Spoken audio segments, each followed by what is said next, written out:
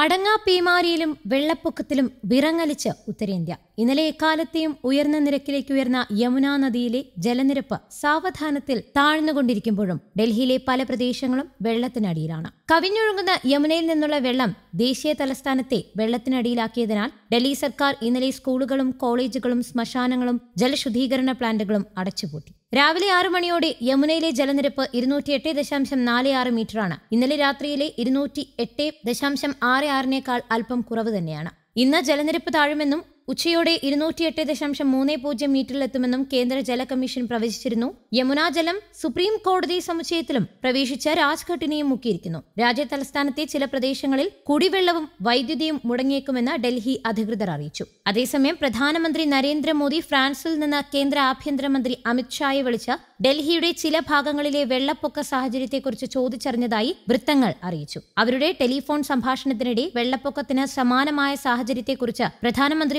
മോദിയോട് ഷാ വിശദീകരിച്ചു. അടുത്ത ഇരുപത്തിനാല് മണിക്കൂറിനുള്ളിൽ യമുനയിലെ ജലനിരപ്പ് കുറയുമെന്ന് പ്രതീക്ഷിക്കുന്നുണ്ട്.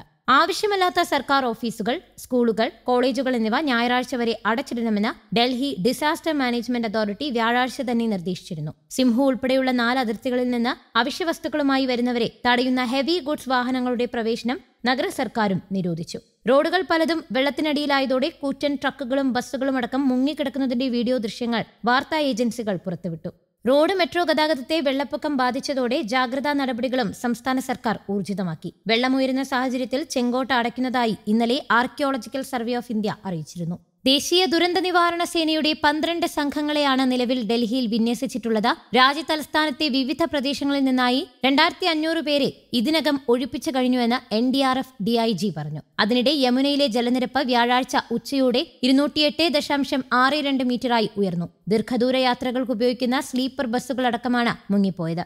ട്രക്കുകൾ ഒഴുകിപ്പോകാതിരിക്കാൻ കയറുകൊണ്ട് ബന്ധിച്ച് നിർത്തിയിരിക്കുകയാണ് പല സ്ഥലത്തും. പൂർണമായും വെള്ളത്തിൽ മുങ്ങിയ നിലയിലാണ് ട്രക്കുകൾ പലതും. കൂറ്റൻ കണ്ടെയ്നർ ട്രക്കുകളും വെള്ളക്കെട്ടിൽ കുടുങ്ങിയിരിക്കുകയാണ്. സർവകാല റെക്കോർഡ് ഭേദിച്ച യമുനയിൽ ഉയർന്ന ജലനിരപ്പ് സൃഷ്ടിച്ച വെള്ളപ്പൊക്കത്തിൽ നിരവധി പേരുടെ വീടുകളും കന്നുകാലികളും കൃഷിയും നഷ്ടപ്പെട്ടു. താഴ്ന്ന പ്രദേശങ്ങളിൽ നിന്ന് സർക്കാർ ഒഴിപ്പിച്ച കാൽ ലക്ഷം പേരിൽ ചിലർ ദുരിതാശ്വാസ ക്യാമ്പുകളിൽ എത്തിയെങ്കിലും ഭൂരിപക്ഷവും കഴിയുന്നത് റോഡരികിലെ ഇത്തരം ടെന്റുകളിൽ തന്നെ.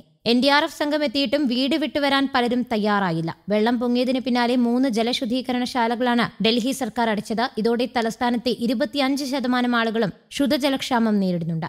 പഞ്ചാബിലും ഹരിയാനയിലും മഴ നാശം വിതച്ചതിനാൽ ദുരിതാശ്വാസ പ്രവർത്തനങ്ങൾ ദ്രുതഗതിയിൽ തന്നെ നടക്കുന്നുണ്ട്. ഹരിയാന സർക്കാർ കണക്കുകൾ പ്രകാരം മഴക്കെടുതിയിൽ മരിച്ചവരുടെ എണ്ണം പതിനാറായി. നേരത്തെ സംസ്ഥാനത്ത് പത്ത് മരണങ്ങളും അയൽരാജ്യമായ പഞ്ചാബിൽ നിന്ന് പതിനൊന്ന് മരണങ്ങളും റിപ്പോർട്ട് ചെയ്തിരുന്നു. കഴിഞ്ഞ മൂന്ന് ദിവസമായി കാലാവസ്ഥ മെച്ചപ്പെട്ടതിനാൽ രണ്ട് സംസ്ഥാനങ്ങളിലെയും അധികൃതർ ദുരിതാശ്വാസ പ്രവർത്തനങ്ങൾ ശക്തമാക്കിയിട്ടുണ്ട്. പഞ്ചാബിൽ പതിനാല് ജില്ലകളെയും ഹരിയാനയിലെ ഏഴ് ജില്ലകളെയും മൊത്തത്തിൽ തന്നെ ബാധിച്ചിട്ടുണ്ട്.